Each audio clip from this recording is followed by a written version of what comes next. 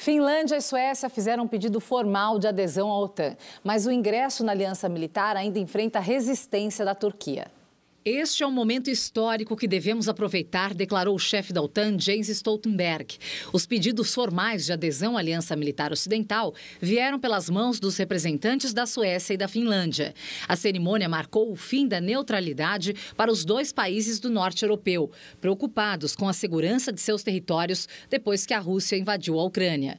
Por isso, a expectativa é de acelerar o processo de adesão, que costuma levar meses. Mas para encontrar o consenso entre todos, todos os 30 países membros, vai ser preciso convencer a Turquia. Logo depois do pedido, o presidente Recep Erdogan se manifestou novamente contra os candidatos. Desta vez, se queixou de que a Suécia recusou o pedido de extradição de 30 militantes separatistas curdos e pediu aos aliados que entendam as necessidades de segurança de seu país. Em vez de compreensão, os colegas da Aliança Militar Ocidental fizeram pressão. Em Nova York, que o chanceler turco ouviu as argumentações do secretário de Estado americano, do ministro das Relações Exteriores da Itália e até do secretário-geral das Nações Unidas, Antônio Guterres.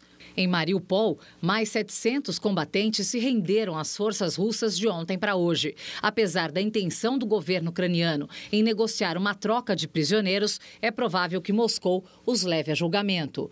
Pelo lado ucraniano, o primeiro soldado russo a sentar no banco dos réus se declarou culpado. Vadim Shishmarin, de 21 anos, é acusado de matar um civil nos primeiros dias da invasão.